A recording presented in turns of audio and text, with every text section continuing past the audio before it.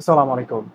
Interview বোর্ডে যারা experience তাদের কাছে একটা খুবই একটা কমন কোশ্চেন জিজ্ঞেস করা হয় why did you leave your previous company এটার মানে এই না যে প্রিভিয়াস কোম্পানি সম্পর্কে আপনি একটা ব্যাড মাউথ করবেন বা খারাপ কিছু করবেন, এটা কখনোই কোনো প্রফেশনাল লেভেলে পড়ে না।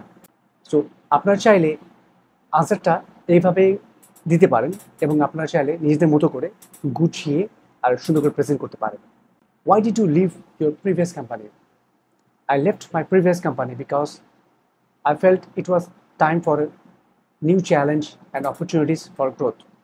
I had a great experience there and learned a lot, but I'm ready to take the next step in my career where I can apply my skills in a fresh, exciting environment and continue to develop professionally.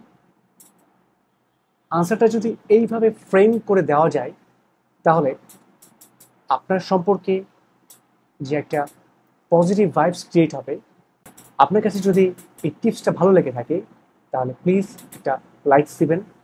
আর যদি এইভাবে ভিডিওগুলোকে আরও সাথে দেখতে চান, তাহলে আমার চ্যানেলটাকে subscribe করতে পারেন। Thank you very much